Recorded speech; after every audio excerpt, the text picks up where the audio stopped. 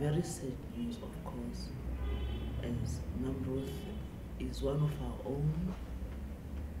She is one of those few cadres of the ANC that has played a very significant role in putting the ANC and South Africa where it is today. It has been saddening to get to hear that she's no more. Of course, she did play her role. She has been a very brave woman, dedicated cadre, quite very sophisticated and classy. She had a stature of, of a very scarce kind, very humble.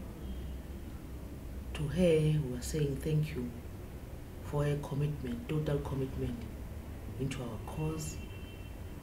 We are saying, as members of the ANC Women's League and the women in general, will try to make sure that we take SPA and make sure that we move forward in making sure that what was her dream becomes a reality.